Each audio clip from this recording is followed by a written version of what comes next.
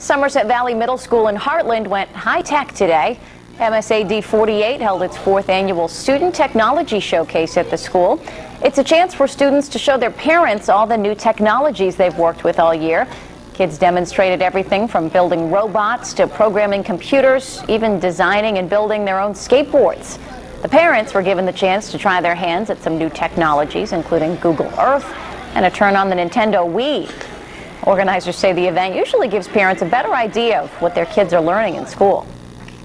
It's so important because a lot of times um, the parents don't always understand some of the technology that the kids are using in school every day. Um, all of our 7th and 8th graders have uh, Macintosh laptops, um, courtesy of the state. So some of the stuff that the students take for granted that they use every day and they don't think much about, the parent, a lot of parents don't realize it's there. Some students even showed their parents how to use the computer to compose music and create their own blogs. Not bad. I don't think I could do that, so I'll give The them a lot of sailboats look good too. There you go. Very mm-hmm. good. Thanks for joining us. We'll see you back here tonight at 11.